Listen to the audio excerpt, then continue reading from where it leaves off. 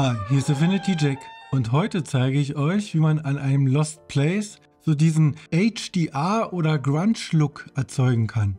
Also in Wirklichkeit war es hier, wie der Berliner sagt, zappenduster. Ich habe es ein bisschen aufhellen können mit einer Lampe, die ich dabei hatte und habe da für indirektes Licht gesorgt. Wie dunkel es eigentlich war, sieht man letztlich nur an der Verschlusszeit, die beträgt nämlich 25 Sekunden. Weil das eigentlich so eine kleine Treppe ist, die nur auf eine Zwischenebene führt, gibt es gar nicht so viele Stufen und deshalb bin ich mit der Kamera ziemlich weit nach unten gegangen, habe jetzt aber den Nachteil, dass ich diese unglaublich große Verzeichnung habe.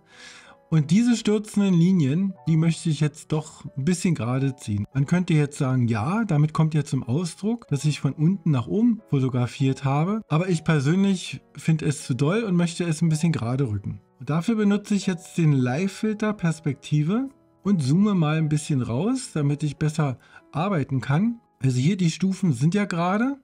Das ist im Prinzip auch gerade, also damit würde ich mich noch zufriedenstellen. Das ist mir zu extrem.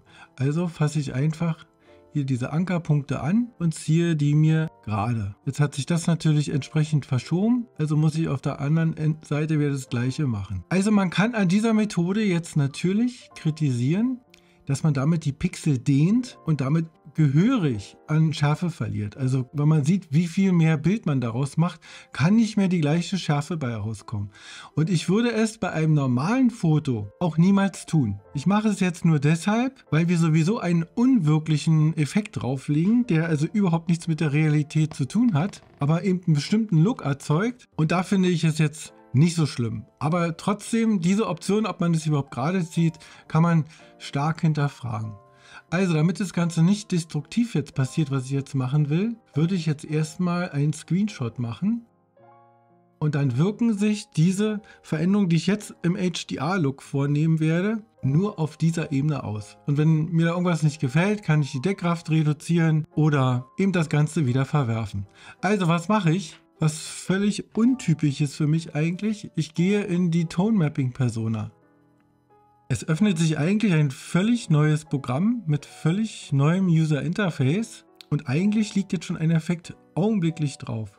Es war standardmäßig jetzt auf neutral von diesen Presets, also diese vorgefertigten Effekte, aber der HDR-Effekt liegt jetzt schon drauf. Ich möchte es hier aber jetzt mal so richtig knallen lassen. Und deswegen, man kann es natürlich probieren erstmal, ob man hier zufrieden ist mit den Voreinstellungen. Den finde ich schon ganz gut, der kommt mir schon entgegen, aber ich möchte jetzt tatsächlich die volle Dramatik haben, auch um hier zu zeigen, was mit dieser Persona eigentlich möglich ist und wähle mal diesen Dramatic-Effekt aus. Wem es bei seinem Bild gefällt, muss eigentlich gar nichts weiter machen. Der geht jetzt auf Anwenden und hat ein fertiges Bild. Man kann aber natürlich weiterhin einige Werte verändern. Ich würde tatsächlich den lokalen Kontrast, das ist nicht der normale Kontrast, der lokale Kontrast ist eine extreme Tonkomprimierung, tatsächlich nochmal ein bisschen erhöhen. Also jetzt kommt wunderbar die ganze Struktur hier des Putzes zum Gelten und es kommt auch, dass hier diese Farbe so abblättert, kommt jetzt wirklich gut zum Tragen. Ganz gefällt es mir noch nicht, aber da mache ich hinterher was. Was mir zum Beispiel nicht gefällt, ist, dass wenn man die Töne extrem komprimiert, komprimiert man damit natürlich auch die Farbe. Also man sieht es hier oben an dieser Holzleiste,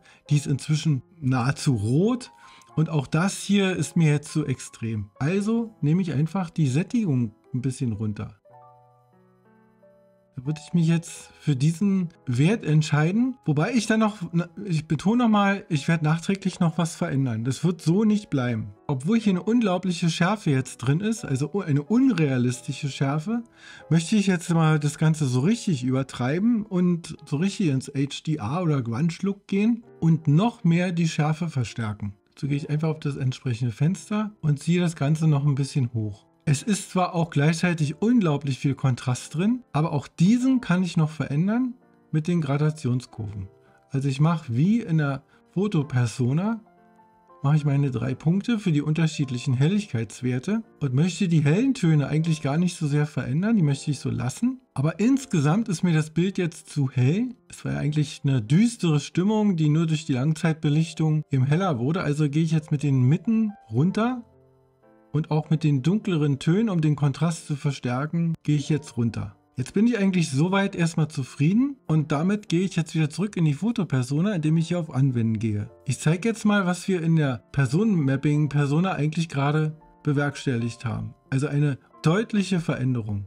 Ich würde jetzt aber folgendes machen. Das Geländer hebt sich mir zu wenig von dem Putz ab. Der Putz ist ja eigentlich grau, das Geländer so ein Rostbraun, das ist ja alles Rost hier. Aber auf dem Bild sieht es jetzt ziemlich gleich aus. Insofern darf ich jetzt eine Veränderung vornehmen, indem ich etwas von dem HDR-Effekt, von diesem unwirklichen Effekt rausmaskiere und damit den tatsächlichen Farbton wieder durchschimmern lasse.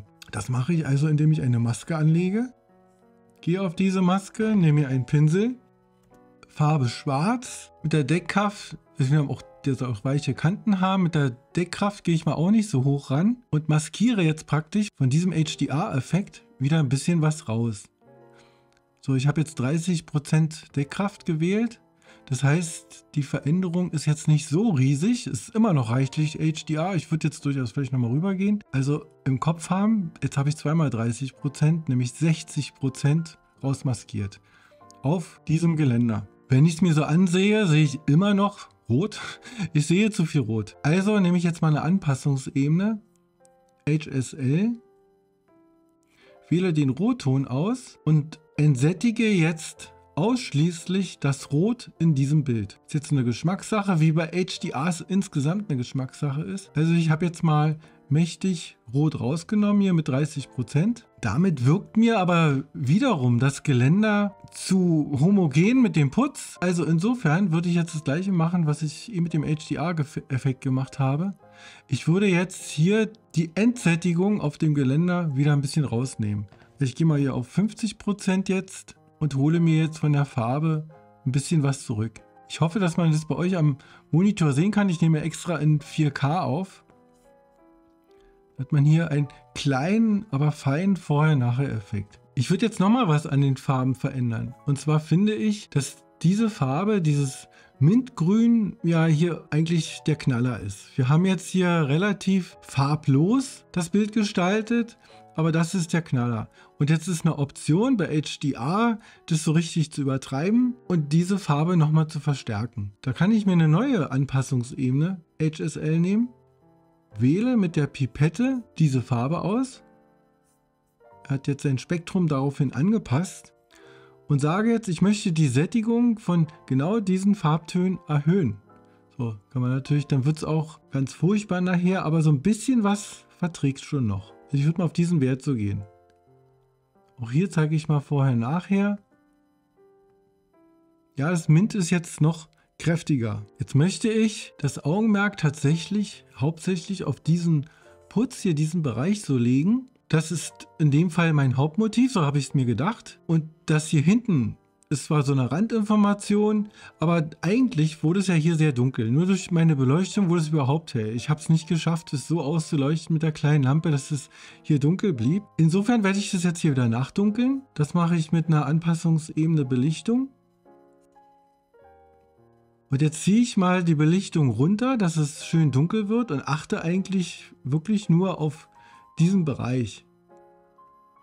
Und sage mal ja tatsächlich, kann zwei volle Blendstufen locker runtergehen, vielleicht sogar noch ein Stück mehr.